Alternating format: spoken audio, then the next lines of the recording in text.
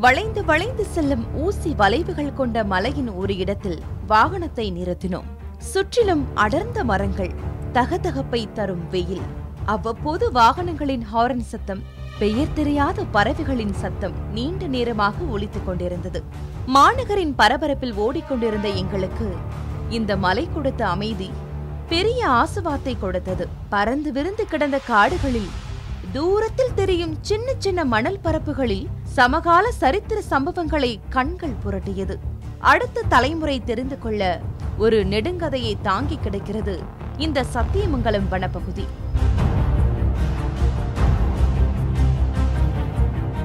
கோவையை கர்நாடகாவுடன் இணைக்கும் தேசிய நெடுஞ்சாலை தொள்ளாயிரத்து ஐம்பத்தி எட்டில் அவ்வப்போது நடக்கும் விபத்துகள் காரணமாக இரண்டாயிரத்து பனிரெண்டு முதல் இரண்டாயிரத்து இருபத்தி ஒன்று வரையிலான காலகட்டத்தில் நூற்று ஐம்பத்தி இரண்டு வனவிலங்குகள் உயிரிழந்துள்ளன.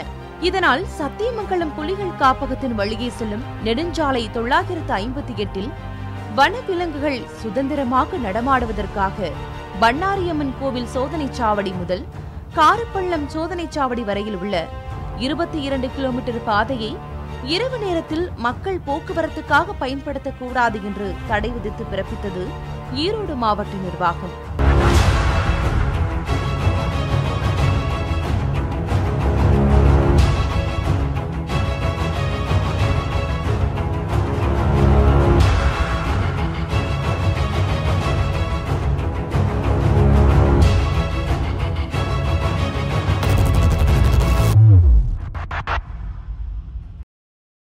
ஜீரகள்ளியின் சோழகர் தொட்டி தாளவாடியின் பாலப்படுகை தலைமலை வனச்சரகத்தின் ராமரணை காளித்தும்பம் மாவனத்தம் ஆகிய கிராமங்கள் ஆசனூர் மற்றும் சத்தியமங்கலம் வனக்கோட்டத்திற்குட்பட்ட கிராமங்கள். தங்களின் பொது போக்குவரத்து தேவைக்காக கிட்டத்தட்ட நூறு ஆண்டுகளாக இந்த கோவை பெங்களூரு தேசிய நெடுஞ்சாலையை பயன்படுத்தப்பட்டு வருகின்றனர். இங்கு வாழும் பழங்குடிகள் தொடர்ந்து எதிர்ப்பு குரல் பதிவு செய்ததன் தொடர்ச்சியாக தற்போது உள்ளூர் பழங்குடி மக்களுக்கு மட்டும் தடை விலக்கப்பட்டிருக்கிறது.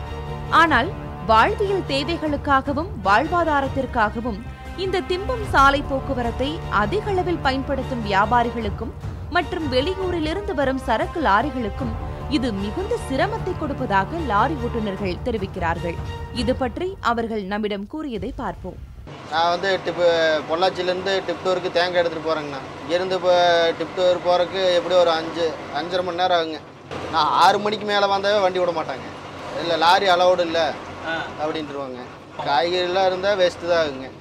டைமிங் கரெக்ட் பண்ணி வரணுங்க. இல்லையா ரொம்ப ரிஸ்க் தாங்க. இன்னொன்று டர்ன் ஆகிறது இல்லை இவங்க போடுற வாடகைக்கு வந்து சுற்றி போனோம்னா கிட்டத்தட்ட ஒரு இப்போ இதில் போனோம்னா ஒரு நான் ஐநூறு கிலோமீட்டர் வருதுன்னா அதில் போனால் சேர்ந்து வருங்க. இரநூறு கிலோமீட்டர் சேர்ந்து வரும். டீசல் செலவு பார்த்தீங்கன்னா கூட ஆயிரும். வாடகை சேர்த்து தர மாட்டாங்க. அப்புறம் வேறு வழியில் இதில் தான் போய் வரணும். பார்ட்டி சீக்கிரம் வரணும் அப்படிம்பா. இங்கே வர முடியாதுங்க. சுற்றியும் போக முடியாது. இவங்க கொடுக்குற வாடகைக்கு.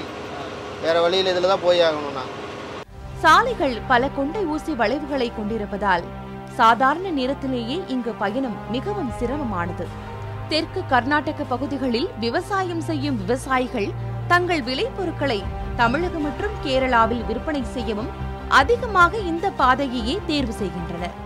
நான் கேரளாவில் இருந்து மைசூருக்கு பால் எடுக்கிறதுக்காக போகிறேன் மற்ற ஊர்லலாம் எல்லாம் வந்து இப்போ கோழிக்கோடு ரோடு கூடலூர் ரோடு இதெல்லாம் வந்து ஒம்பது மணி வரைக்கும் ஓப்பன் பண்ணுறாங்க இந்த சத்தியமங்கலம் மட்டும் ஆறு மணிக்கு க்ளோஸ் பண்ணிடுறாங்க. அது ரொம்ப கஷ்டமாக இருக்குது எங்களுக்கு. ஆறு மணிங்கிறது வந்து ஒரு ஒம்பது மணி வரைக்கும் இருந்தால் எங்களுக்கு கொஞ்சம் இன்னும் கொஞ்சம் நல்லா இருக்கும். ஆறு டு ஆறு பன்னெண்டு மணி நேரம் பிளாக் பண்ணுறது எங்களுக்கு ரொம்ப கஷ்டம். அது இல்லாமல் நான் ஓட்டுறது பால் வண்டி. வந்து போய் பால் எடுக்கிறதுக்கு டைம் பத்தாது. சுற்றிட்டு போனால் ரொம்ப தூரம் டிஸ்டன்ஸ் அதிகமாகும் டீசல் செலவு அதிகமாகும். அதனால் வால்ட்டு பண்ணி காலை ஆறு மணிக்கு தான் எடுப்போம்.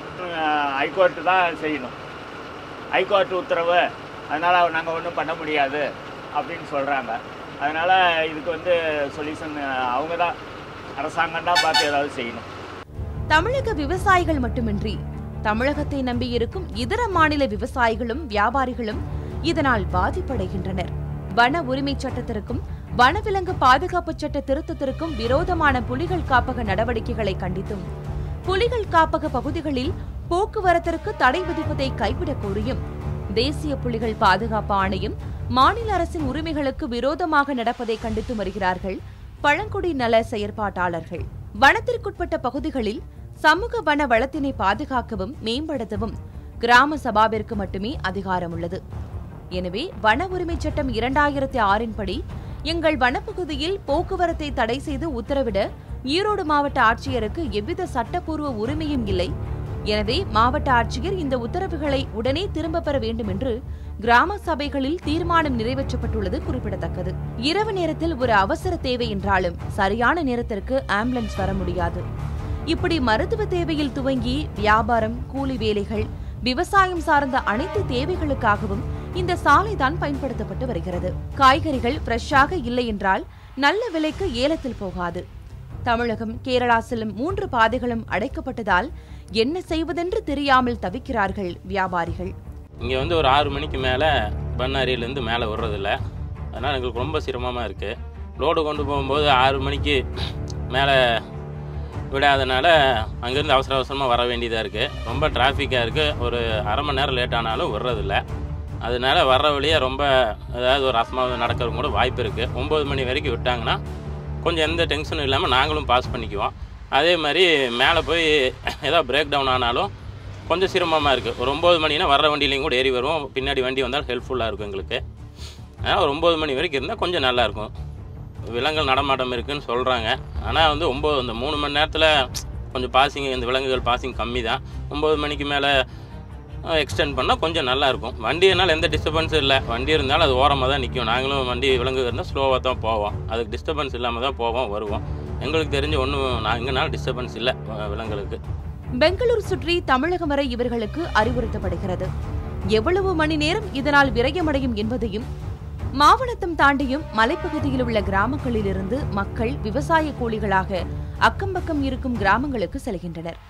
போக்குவரத்து தடை மற்றும் சரியான நேரத்திற்கு பேருந்து வராத காரணத்தால் பல மைல்கள் நடந்தே தங்களின் கிராமங்களுக்கு திரும்பி வருகின்ற அவல நிலையும் ஏற்பட்டுள்ளது.